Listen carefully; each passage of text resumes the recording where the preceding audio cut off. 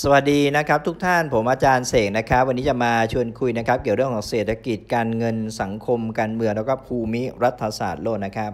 หลายท่านเนี่ยนะครับก็เคยดูละครนะก็จะเข้าใจว่าละครเนี่ยก็จะมีผู้แสดงก็จะมีบทบาทของการแสดงนะเช่นเป็นผู้ดีเป็นผู้ร้ายนะตัวดีตัวร้ายนะครับ แต่ว่าผู้ที่เล่นละครเนี่ยนะถ้าเรารู้เบื้องหลังใช่ไหมดาราต่างๆเนี่ยก็จะเห็นว่า คนที่เล่นเป็นตัวร้ายเนี่ยนะเบื้องหลังอาจจะเป็นคนดีก็ได้นะคนที่เล่นเป็นตัวดีนะเบื้องหลังอาจจะเป็นตัวร้ายก็ได้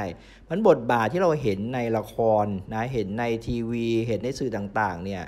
ไม่ได้บอกนะครับว่าจะต้องออคนที่เป็นตัวร้ายนะเบื้องหลังนะจะต้องเป็นตัวร้ายแบบนั้นด้วย หรือว่าคนที่เป็นตัวดีที่เราเห็นในในบทละคร เบื้องหลังก็จะต้องเป็นตัวดีด้วย มันไม่แน่เสมอไป วันนี้จะมาชวนคุยกันนะครับ เวลาเรามอง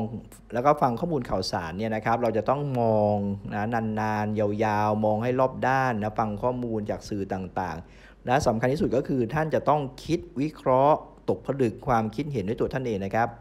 อย่าเพิ่งเชื่อในสิ่งที่เห็นนะอย่าเพิ่งเชื่อในสิ่งที่ท่านได้ยินนะจนกว่าท่านจะพิจารณาไตรตรอง วิเคราะห์ด้วยตัวท่านเองเสียก่อนนะครับ สิ่งที่มาชวนคุยกันนี้ก็คือว่านะ สิ่งที่ผมติดตามข้อมูลข่าวสารมาหลาย 10 ปีแล้วนะในประเด็นของการเมืองระหว่างประเทศนะครับในประเด็นของเศรษฐกิจ การเงินสังคมการเมืองระหว่างประเทศเนี่ยต้องบอกว่านะบางทีข่าวที่ออกมาเนี่ยมันเป็นการสร้างพล็อตเรื่องนะพล็อตเรื่องนะว่ารัสเซียเนี่ยนะจะต้องเป็นตัวร้ายนะครับส่วนจีนก็จะเป็นเพื่อนกับตัวร้ายนั่นเองนะเดี๋ยวจะมาคุยกัน บางทีภาพที่ออกมาในสื่อต่างๆเนี่ยนะ เราต้องเข้าใจนะครับว่ามันเหมือนกับการสร้างพอตเรื่องอะนะรัสเซียนะครับปูตินเนี่ยนะจะถูกทำให้เห็นภาพนะครับของความร้ายกาจนะทำให้เห็นภาพนะครับของความมีเล่ห์เหลี่ยมนะของความมีเเขาเรียกว่ารับลวงพางนะหรือว่ามีเบื้องลึกเบื้องหลังนะครับ เพราะฉะนั้นเขาเรียกว่าถ้าเราติดตามสื่ออย่างเดียวเนี่ยนะครับ โดยการขาดวิจารณญาณนะมองให้ลึกมองให้รอบด้าน เข้าใจบริบทโดยรวมทั้งหมดเนี่ยเราอาจจะมองแค่เห็นผิวๆหรือภาพนะสื่อที่ออกมานะครับพอดเรื่องที่สร้างออกมานะว่าทางรัสเซียนะครับนะถูกวางพอดเนี่ยให้ใครเป็นตัวร้ายนะครับแล้วก็ทางจีนเนี่ยนะก็ถูกวางพอดเรื่องให้เป็นเพื่อนกับตัวร้ายนะเพราะฉะนั้นทั้งสองคนก็เลยกลายเป็นตัวร้ายนะและเพื่อนของตัวร้าย เพราะอะไรครับเพราะว่าถ้าเราไม่มองพิจารณาให้ดีๆนะฮะ เราไม่มองเข้าไปถึงเขาเรียกว่าพฤติกรรมอะนะเบื้องลึกจริงๆนะวิธีการคิดของผู้นำนะไม่ว่าจะเป็นปูตินหรือว่าสีจิ้นผิงนะของรัสเซียกับจีนเนี่ยนะถ้าเรามองเพียงผิวเผินนะบางทีเราจะ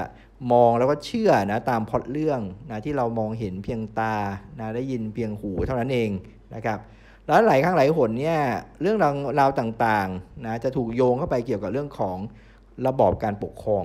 นะจะถูกโยงเข้าไปเกี่ยวเรื่องของการปกครองนะการใช้อำนาจนั่นเองนะซึ่งมันจะเกี่ยวข้องกับเรื่องของพีระมิดนะครับของอำนาจนะพีระมิดของทางด้านการเมืองสังคมนะซึ่งถ้าเกิดใครมองแบบไม่ลึกซึ้งอะนะมองแบบแค่ผิวเผินนะเราจะมองในประเด็นของพีระมิดเนี่ยนะครับว่าเป็นชนชั้นบน ชนชั้นกลาง ชนชั้นล่างนะชนชั้นบน ชนชั้นนำอิลิท ชนชั้นกลางนะคนทั่ว ๆ ไปนะที่ประกอบอาชีพการงานธุรกิจต่างๆ แล้วก็ชนชั้นล่างนะครับ คนใช้แรงงานนะคนยากจนอย่างเงี้ยนะแล้วก็จะมีระบอบการปกครอง 2 แบบ คือระบอบการปกครองแบบประชาธิปไตยนะซึ่งผมเรียกว่าฝ่ายซ้ายแล้วกันนะเรียกว่าเสรีนิยมประชาธิปไตยนะครับแล้วก็มีทางฝ่ายขวานะก็คือเป็นฝ่ายที่ผมเรียกว่าอนุรักษ์นิยมนะหรือบางคนก็ จะมองว่าเป็นฝ่ายนะคล้ายๆ กับเผด็จการนะการใช้อำนาจจากบนลงล่างอย่างเงี้ยนะครับเพราะฉะนั้นเมื่อเราถูกโยงเข้าไปนะครับกับภาพข่าวที่แสดงออกมานะเราก็จะมองเห็นว่านะใน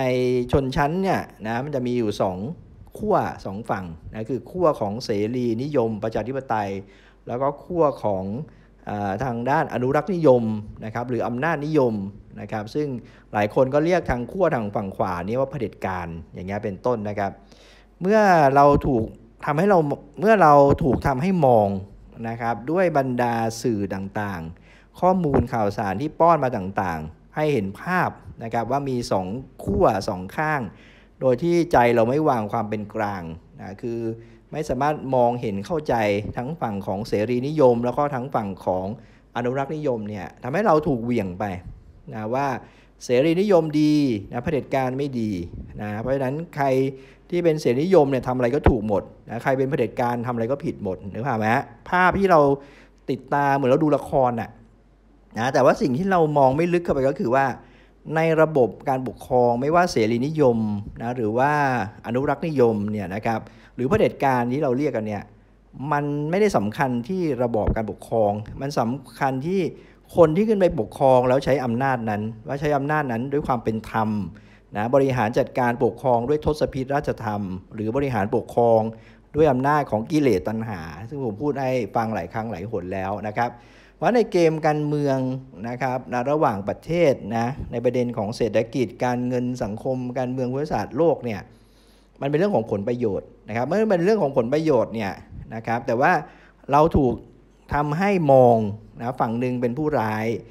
เพราะฉะนั้นฝั่งที่ตรงข้ามผู้ร้ายก็คือผู้ดีนะแต่ในความเป็นจริงในเกมเนี่ยนะในผู้ร้ายนะครับก็จะมีความเป็นผู้ดีอยู่ก็ได้ ในความเป็นผู้ดีก็จะมีความเป็นผู้ร้ายซ่อนอยู่ก็ได้ เพราะสำคัญที่สุดก็คือมันเรื่องของศีลธรรม เป็นเรื่องของจริยธรรม เป็นเรื่องของทศพิธราชธรรมในการปกครองมากกว่าเห็นไหมครับ เพราะฉะนั้นต้องระมัดระวังให้ดีนะ เพราะหลายคนเนี่ยนะเท่าที่ผมติดตามอ่านนะแล้วก็ฟังจากสื่อต่างๆเนี่ยมักจะแบ่งไปเลยนะแบ่งไปเลยว่านะฉันเป็นเสรีนิยมนะอีกฝั่งหนึ่งก็บอกฉันเป็นอนุรักษ์นิยมนะฝั่งเสรีนิยมก็เรียกว่าตัวเองว่าประชาธิปไตย ฝั่งอนุรักษ์นิยมก็เรียกว่าตัวเองว่าเผด็จการนะเราก็จะมองว่าเผด็จการไม่ดีหมด เสรีนิยมนี่ดีหมดถูกหมด ถ้าใครมองแบบนั้นน่ะผมว่ามองตื้นเกินไป แล้วก็อาจจะถูกมายาคติบดบังแล้ว ต้องระมัดระวังนะครับมันการมองให้ถูกต้องเนี่ยเราจะต้องมองเห็นนะตามที่มันเป็นจริงนะไม่ว่าจะระบอบการปกครองไหนเนี่ยมีทั้งดีและไม่ดี มันขึ้นอยู่กับผู้นำสูงสุดนะครับว่าในการบริหารจัดการนั้นเนี่ย บริหารจัดการด้วยความเป็นธรรม ด้วยทศพิธราชธรรมหรือไม่ตรงนั้นนะครับสำคัญที่สุดนะครับ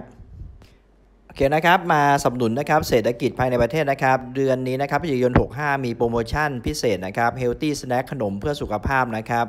ก็มาแนะนำกันนะครับว่าอะไรที่ทานเล่นได้นะผักและผลไม้สดนะขนมที่ทำจากธัญพืช ข้าวแป้งไม่ขัดขาวไขมันดีจากพืชแล้วก็โปรตีนจากพืชนะครับ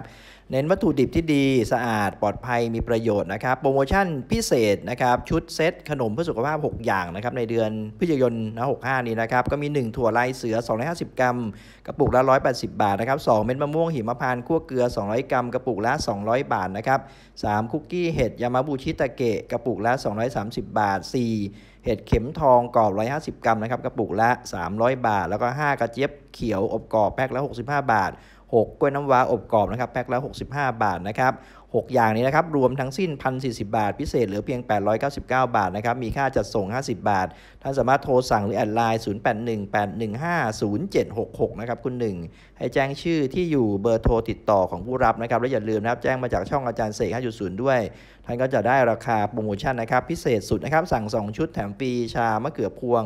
ลดไขมันคอเลสเตอรอลลดน้ำตาลฟรี 2 กล่องนะครับมูลค่า 130 บาทนะครับต้องขอขอบคุณทุกการสนับสนุนจากทุกท่านนะครับต่อบรรดาเกษตรกรอินทรีย์แล้วก็สนับสนุนช่องผมมานะที่นี่นะครับขอมีสุขภาพร่างกายแข็งแรงสุขภาพจิตที่ดีนะครับ ฟังวินัยก่อนแล้วค่อยเชื่อ เราเจอกันใหม่คลิปหน้า สวัสดีครับ